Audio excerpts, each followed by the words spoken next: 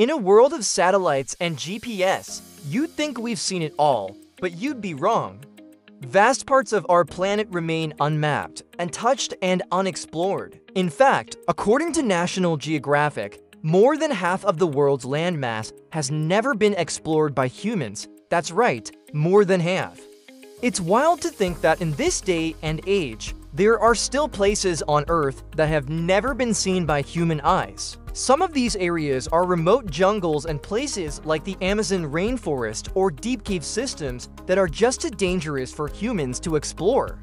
But the truth is, we've only scratched the surface of what's out there. There are still so many undiscovered species, plants, minerals, and natural wonders that are just waiting to be found. It's incredible to think about the possibilities that are out there and what we might find if we were to venture into the unknown. So the next time you feel like you've seen it all, just remember there's always more to discover. The world is full of surprises and there's no telling what we might find if we're willing to explore.